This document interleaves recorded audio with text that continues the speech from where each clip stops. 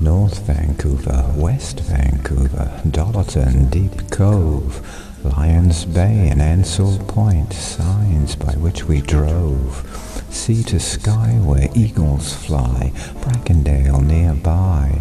Squamish winds, more Howe Sound things where peaks in water lie.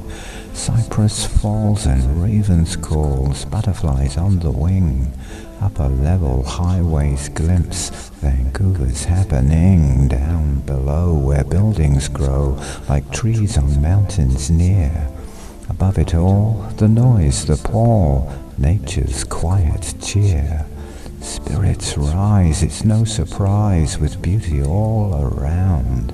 Seymour, grouse and hollyburn, absorbing people's sound. The deafening hush where Lynn Creek's rush flows through canyon deep, awaking something we forgot when we fell asleep amidst the roar, the evermore accumulating stuff disappearing in a natural world's enough to pacify our souls which cry for peace amid the noise and expectations to desire all the world's new toys.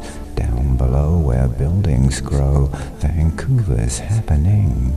From Lynn Peak's height where sounds take flight of breezes as they sing, spirits rise, it's no surprise with beauty all around.